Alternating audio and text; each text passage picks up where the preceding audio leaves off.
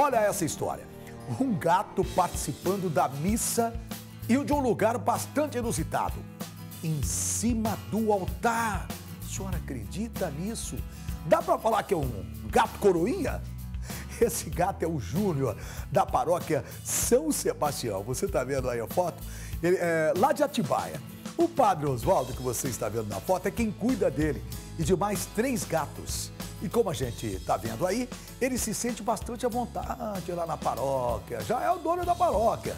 Durante as missas, é assim que ele se comporta. Circula por todos os lugares sem cerimônia alguma. Será que o gatinho está rezando e pedindo para que o, o pote de ração dele esteja sempre cheio? De repente sim, né? Está agradecendo aí, olha senhor, ainda bem que eu tenho minha comidinha aqui boa. Essa cena tem chamado a atenção na internet e muitos fiéis estão demonstrando interesse em participar da celebração da missa lá em Atibaia. Sabe para quê? Para conhecer o Júnior. Vão na missa, aproveita para rezar e tal, mas conhece também o Júnior.